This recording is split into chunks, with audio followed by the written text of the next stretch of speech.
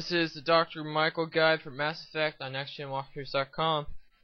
Alright, in order to trigger this, you need to talk to Dr. Michael at least one time after you rescue her from the thugs.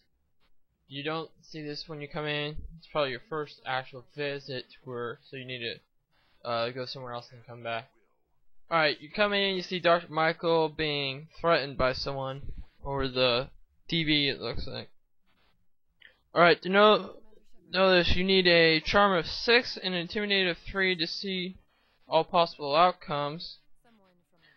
Uh, this is a really simple one if you do it right. If you don't have the skills but you still want to do this, uh, you can still finish it. Alright, Dr. Michael starts to explain that she's being blackmailed by someone and she is to deliver some medical supplies to the Salarian merchant in the markets. Oh, Morlan. Alright, you can straight out uh, say you don't want to do it and it'll end it, but you can come back.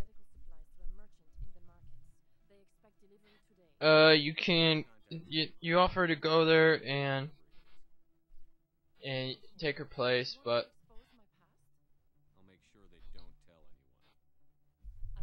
Oh.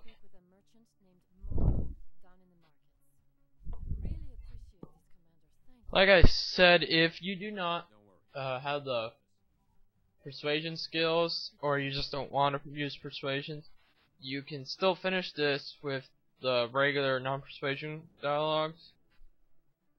And your only uh, enemy that you'll fight is one Krogan.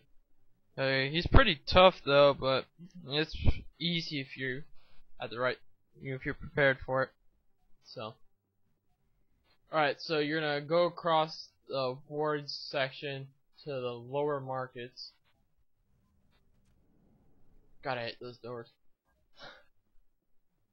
Alright, okay.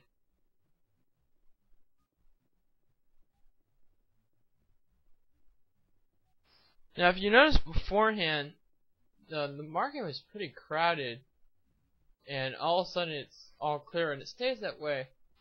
So you're not worried about him taking cover behind someone you can't shoot, especially the two merchants because they take cover.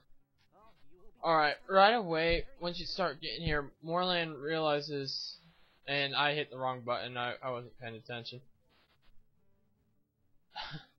Uh, Morlan, when you bring up the dialogue to begin this, that you're here for Dr. Michael, he realizes something's not wrong, and then the Krogan named Jax appears. And then you get one dialogue option which really doesn't affect it, and then you get your persuasion options.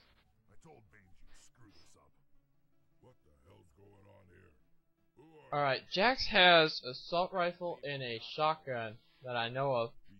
So he, he's pretty much got the firepower to deal with you in any part of this area.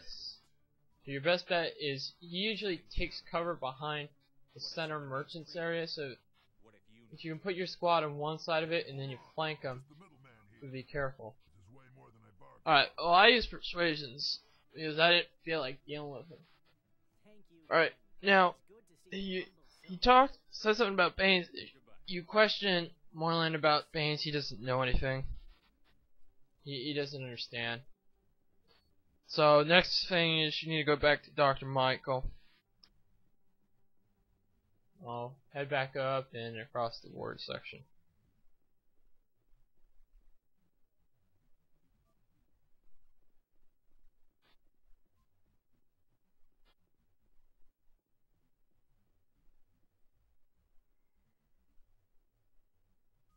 And a little trick for those uh, loading sections here is I found if you ease up on the stick and stop pushing forward, it loads a little faster.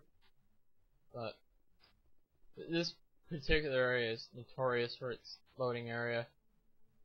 It's, it's a real pain ass. And I tried filtering them out, but I it was just it got tedious. So bear with me.